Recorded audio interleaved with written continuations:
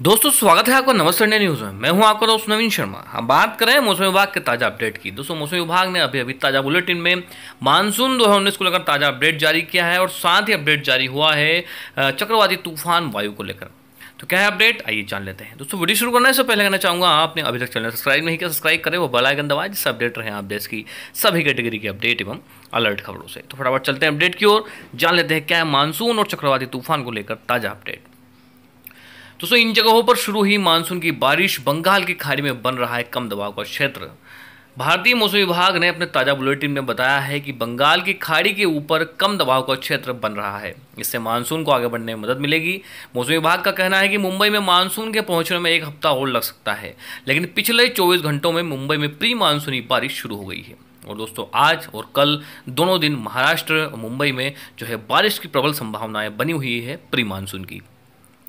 यह बारिश शनिवार को भी जारी रह सकती है। आपको बता दें कि देश में मानसून दो तरफ़ यानी अरब सागर और बंगाल की खाड़ी से भारत में एंट्री करता है। इसी वजह से अब मौसम वैज्ञानिक बंगाल की खाड़ी ओर से बढ़ने वाले मानसून पर नज़र लगाए बैठे हैं। आपको बता दें कि इस साल केरल में मानसून एक हफ़्ते देरी के बाद आठ जून को पहुँचा है। आईएमडी का कहना है कि कर्नाटक के अलावा तमिलनाडु के कन्नूर और मदुरई में मानसून दस्तक दे चुका है।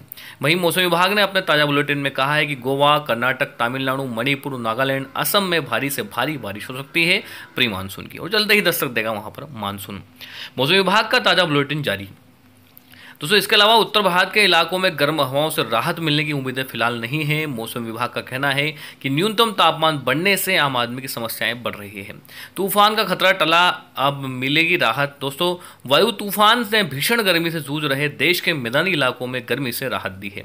मौसम विभाग के अनुसार वायु और उत्तर पश्चिम मानसून दोनों उत्तर की ओर सक्रिय होने के कारण मैदानी इलाकों में हल्की बारिश और तेज नम हवाओं के रूप में गर्मी से राहत देने में मददगार साबित हो सकते हैं।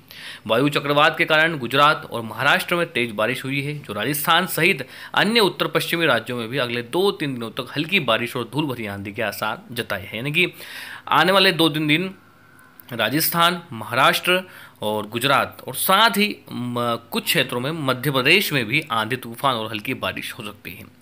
राष्ट्रीय राजधानी दिल्ली और आसपास के अन्य इलाकों में बुधवार को धूल भरी आंधी चलने के कारण पिछले 24 घंटों में देश के कई इलाकों में औसतन तापमान में आठ से 10 डिग्री सेल्सियस तक की गिरावट दर्ज की गई है। दोस्तों, साथ ही उत्तराखंड की यदि हम बात करें तो उत्तराखंड में भी आंधी बारिश का दौर जारी रहेगा आने वाले दो दिन।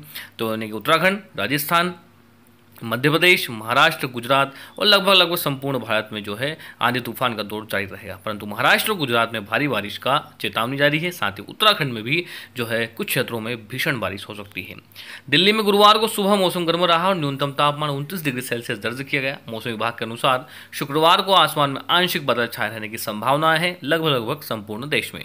तो दूर दराज के कुछ इलाकों में लू चल सकती है। शुक्रवार को यहाँ अधिकतम तापमान करीब तिरतालीस डिग्री सेल्सियस रहने की संभावना है। लेकिन दोस्तों, प्री मानसूनी हलचल शुरू हो चुकी है, फिर से सक्रिय हो रहा है मानसून। और अच्छी खबर है देशवासियों के लिए, क्योंकि चक्रवाती तूफ़ान ने कहीं न कहीं उसकी गति धीमी कर दी थी, परंतु फिर से बंगाल की खाड़ी में उसके लिए अनुकूल परिस्थितियाँ बन रही है और फिर से दस्तक दे सकता है मानसून जल्द ही देश के सभी क्षेत्रों में। तो बने रहे नमस्ते इंडिया न्यूज़ के साथ पल पल किया मानसूनी अपडेट। चक्रवाती तूफ़ान की अपडेट और देश की अन्य बड़ी अपडेटों को तुरंत प्राप्त करने के लिए। इस वीडियो में इतना ही। फिर आपके लिए उपस्थित होंगे अन्य जानकारी के साथ। तब तक लिए दोस्तों, खुश रहिए, स्वस्थ रहिए। नमस्ते, इंडिया।